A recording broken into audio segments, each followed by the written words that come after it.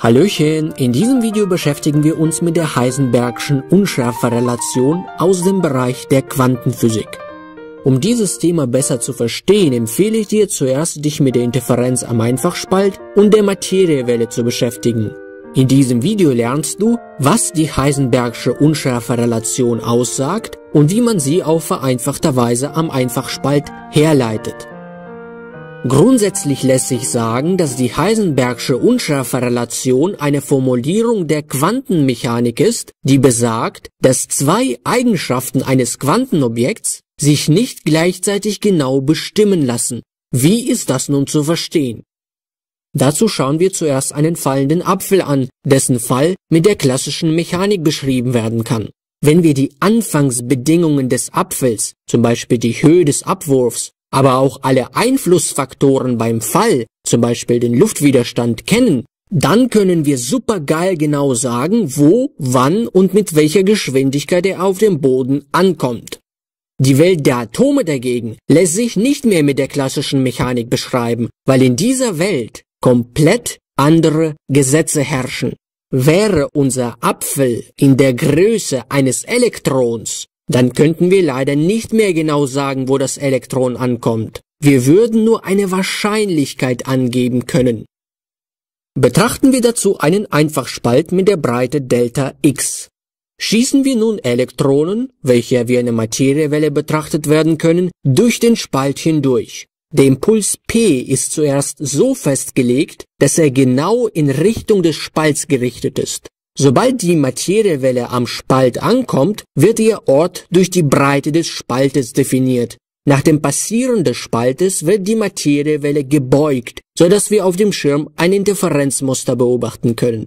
Unser festgelegter Impuls hat sich ausgeweitet. Die Differenz dieser Ausweitung ist Delta P. Da sich die meisten Elektronen im Hauptmaximum befinden, können wir einfachheitshalber nur die Streuung bis zum ersten Minimum betrachten. Die Bedingung dafür würde lauten, Sinus Alpha mal P ist kleiner gleich Delta P. Damit betrachten wir nur die Impulsstreuung innerhalb des Hauptmaximums. Damit wir überhaupt seine Abgrenzung zum ersten Minimum sehen können, müssen wir eine weitere Bedingung festlegen. Aus Beugungsversuchen wissen wir, dass bei einem Einfachspalt wir erst dann zu einem Minimum gelangen, wenn der Gangunterschied ein Vielfaches der Wellenlänge beträgt n mal Lambda. Wir betrachten das erste Minimum, also ist unser n gleich 1.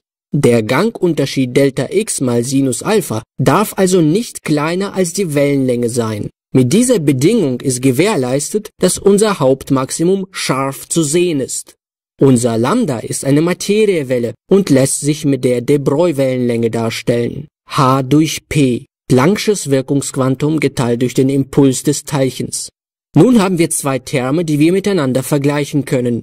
Den Impuls kürzen wir weg und bringen Delta x auf die andere Seite. Und das wäre unsere Formel der Heisenbergschen Unschärferelation bezogen auf den Impuls und den Ort. Das Produkt aus der Ortsunschärfe und der Impulsunschärfe darf nicht kleiner sein als das Planck'sche Wirkungsquantum. Eine sehr genaue und gleichzeitige Bestimmung des Ortes und des Impulses wäre also in einer Quantenwelt nicht möglich. Erhöhen wir die Breite des Spaltes, dann nimmt die Unschärfe des Impulses ab. Verringern wir dagegen die Breite, dann nimmt die Unschärfe des Impulses zu. Hierbei muss man sich auch deutlich machen, dass die Unschärferelation nicht durch den Messprozess entsteht, sondern prinzipieller Natur ist. Das Quantenobjekt Elektron befindet sich sozusagen in einem nicht definierten Zustand. In manchen Formelsammlungen wird das reduzierte Planck'sche Wirkungsquantum verwendet, H quer. Dann steht da zum Beispiel als Formel Delta x mal Delta p größer gleich H quer durch 2, wobei H quer H durch 2pi ist. Lasst euch davon nicht irritieren, fragt einfach den Lehrer, was ihr verwenden müsst. Hierbei ist nur die Größenordnung entscheidend. So, das war's. Wenn du noch irgendwelche Fragen hast, dann stell sie in den Kommentaren. Wenn ich dir wenigstens ein bisschen helfen konnte, dann gib dem Video bitte einen Daumen hoch. Und falls du an meinen zukünftigen Videos interessiert bist, dann hast du die Möglichkeit, mich kostenlos zu abonnieren. In diesem Sinne, tschüss und bis zum nächsten Mal.